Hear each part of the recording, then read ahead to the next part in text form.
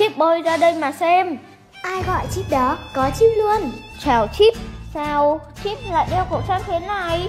Đeo khẩu trang khi đi ra ngoài để phòng chống dịch Covid Bảo vệ mình và mọi người tiết ạ. À?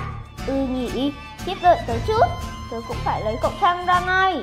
Nhất trí tít. Đã trở lại. Lợi hại gấp đôi. Được Chip Đây là đâu? Là một ngôi chùa rất to. Đại chùa hi hi. Đúng là chùa rồi. Nhưng Chip mà biết đây là chùa nào Ở tỉnh nào nữa Thì quá đỉnh luôn Để tớ nghĩ xem nào Có phải chùa Tam Trúc của tỉnh Hà Nam đó không? Chính xác Đây là ngôi chùa lớn nhất thế giới Nó rộng gần 5.000 hecta cơ Chưa hết đâu, Hà Nam còn có đền Trúc, Ngũ Động Sơn, đền Trần Thương và chùa Bà Đanh nữa đấy. Wow, quả là một vùng đất linh thiêng. Tớ rất thích nơi này, chúng mình cùng cắm cờ ở đây và tìm hiểu về bài học hôm nay thôi. Nhất trí vậy nhí, tớ cắm luôn, đã xong.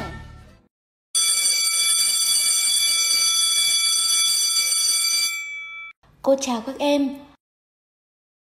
Hôm nay chúng ta học bài đại từ nhé. Wow, cô ơi, đại chùa em hiểu là chùa to. Thế đại từ là từ to phải không ạ? À? Câu hỏi của Tít rất hay. Để biết đại từ là gì, các em cùng cô tìm hiểu ví dụ sau. Quân hỏi, tớ rất thích chơi cờ vua. Cậu có muốn chơi cùng không? Ngân gật đầu đồng ý. Đố chip, trong ví dụ trên, từ nào chỉ người nói, từ nào chỉ người nghe? Thưa cô, từ chỉ người nói là tớ, còn từ chỉ người nghe là cậu ạ. À? Giỏi lắm, đây là hai từ dùng để xưng hô. Cô có thêm một ví dụ nữa.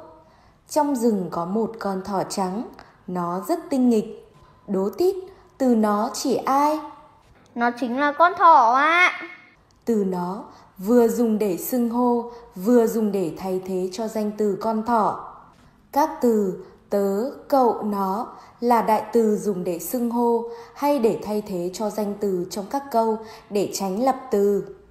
Vậy đại từ chỉ có thể thay thế cho danh từ đúng không ạ? Câu hỏi của Chip rất hay. Để trả lời được, chúng ta cùng nhìn lên bảng. Cô có hai ví dụ. Các từ in đậm trên thay thế cho những từ nào đây Chip? Từ vậy thay thế cho cụm từ đang nấu ăn, còn từ thế thì thay thế cho chăm chỉ ạ. Đúng rồi, Vậy đại từ có phải chỉ để thay thế cho danh từ không? Nó còn thay thế cho cả động từ và tính từ nữa ạ. À. Tít giỏi lắm, cô có ghi nhớ. Đại từ là từ dùng để xưng hô hay để thay thế cho danh từ, động từ, tính từ hoặc cụm danh từ, cụm động từ, cụm tính từ trong câu sao cho khỏi lặp lại các từ ngữ ấy. Em hiểu về đại từ rồi ạ. Cô ơi, chúng em vừa làm bài thơ về Hà Nam. Trong bài thơ có đại từ ạ. Các em đọc cho cô nghe nào. Tít ơi, tớ muốn đi chơi. Hà Nam tươi đẹp gọi mời chúng ta. Chip ơi, tớ kể cậu nghe. Cá kho, chuối ngự, bạn bè khen ngon. Nghe vậy mà tớ thích hơn. Học hành chăm chỉ để còn đi thôi. Bài thơ rất hay. Bài học của chúng ta đến đây là kết thúc rồi. Hẹn gặp lại các em vào những bài học sau. Tít ơi, hôm nay chúng ta chơi trò gì thế? Tớ chưa nghĩ ra trò gì cả. Hay chúng mình chơi với đại từ đi. Chơi như thế nào cơ? Sẽ cực, chúng mình thi xem ai tìm được nhiều đại từ hơn nhé. Chuyện nhỏ, nghe đây này.